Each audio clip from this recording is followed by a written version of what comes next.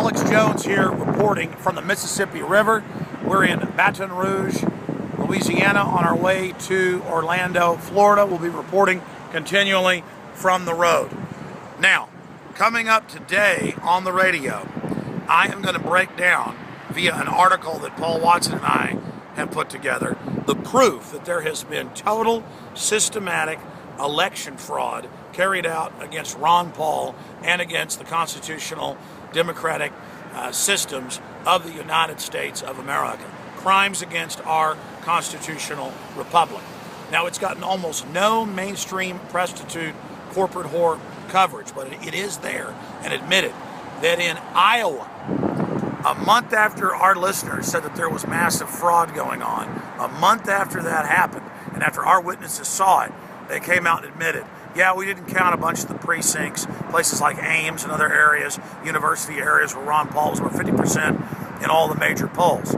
We saw similar stuff happen in Nevada. In every other state, he's gotten more than double the support he got four years ago. Except in Nevada, it was a dead statistical you know, same amount that he got last time.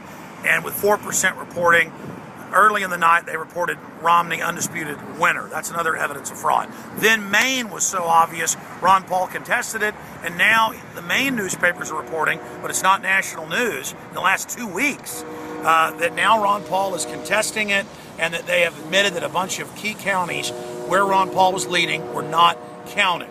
Okay? So the fact is, they've thrown out Iowa and say they don't know what they're going to do with it. Uh, Maine is contested, not getting any attention.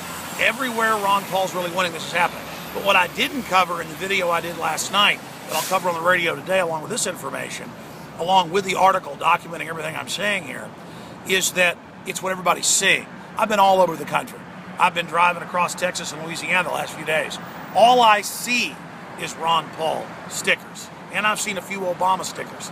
I never never see Newt Gingrich, Santorum, uh, back in the day, Rick Perry, Michele Bachmann, uh, Mitt Romney. I've never seen one. It's going to be like finding a four leaf clover or a pot of gold or something that's this mythical place. I never see their signs. I never see anything. All over the web, I can go check some article about the weather and there'll be Ron Paul comments. I can go to any mainstream article attacking Ron Paul, there's Ron Paul comments.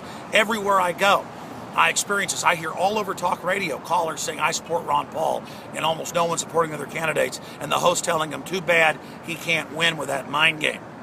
And as I said, he gets over 70% of all military contributions for all the candidates combined, Obama and Republicans. So again, what does that say? It lets us know that everywhere where the system can't game things, Ron Paul is winning. And he won almost all the straw polls. He's won most of the scientific polls. That's with them blocking him out of debates. That's with the system totally afraid of him. If they'd engage in that fraud, why wouldn't they engage in this fraud? If the government's been caught shipping drugs in and lying about WMDs and engaged in torture and lying about it and all the other crimes and deceptions and insider trading by Congress, and when they get caught, they say, well, we're allowed to legally, which isn't even true. With all the crimes we've seen and all the past election fraud in this country, confirmed of course, the system is scared of Ron Paul. Look at both parties attacking him, the corporate media attacking him, the establishment system scared of him. He's the real winner. And it shows that America's waking up, even if they cheat Ron Paul and the American people this time. It shows the worm is turning because he was not the the front runner four years ago. Their mind games worked. This time he is the front runner. Now I didn't say he was the front runner four years ago. I said, you know, he would be if they weren't blocking him out. What he says is really popular and he's popular amongst Democrats as well. And in new polls shows he'd beat Obama better than any other Republican. But four years ago, I didn't say, oh, you know, he's being cheated 100%. There was some evidence of fraud in New Hampshire and in other areas trying to keep him out of the ranking.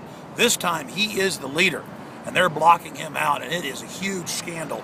We've got to get the word out on this. I'll cover it more today, 11 a.m. Central, 12 noon Eastern at Infowars.com or on XM channel 166 or local AM and FM stations in your area. Please spread the word about this right now and go to Infowars.com because by showtime today, we're going to have that big Ron Paul article detailing you know, chronicling this. A few months ago, we knew it was going on in Iowa, but now the evidence is just stacking up until it's totally ridiculous.